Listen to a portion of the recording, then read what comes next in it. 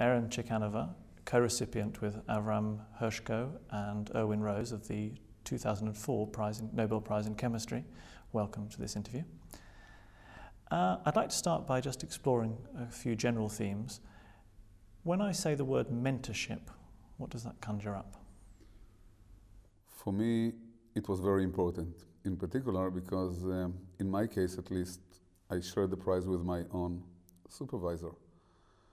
And uh, so it means a lot. Uh, I was lucky to have an excellent mentor. Um, I don't know if the word luck is proper here because I picked him by purpose. Not because I knew that uh, one day both of us are going to share the Nobel Prize, but I really searched around. And I had the privilege of searching around because um, I was a physician already, a practicing physician. And I had my own career, basically paved, or at least I could see where I'm heading.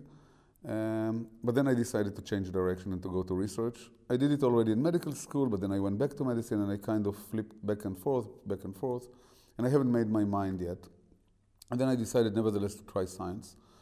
And I went around and uh, explored the possibilities with several potential mentors. And each of them was very clear about his ideas. I mean, let's do that and let's do that, and I did that, and you know, whatever is left here and Avram was a young um, investigator, just came back from a postdoctoral fellowship. I mean, he himself. And there he started to work on protein degradation, basically just corroborated previous findings from the past.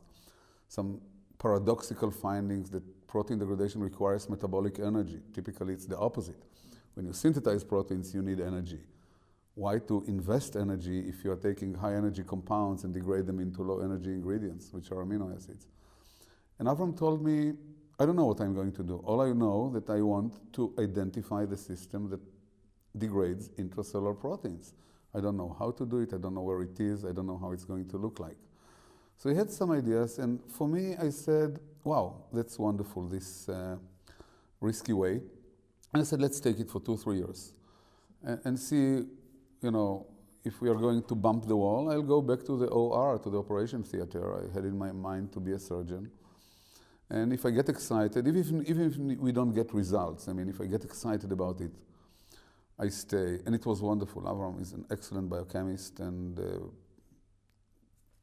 after a short time, we realized that we have something very unusual at hand. And, and then it continued. I learned a lot from him, but you know, it, it was kind of a dialogue, of an active dialogue. I, I thought that good mentors, I don't want to be proud or whatever, need also maybe good students.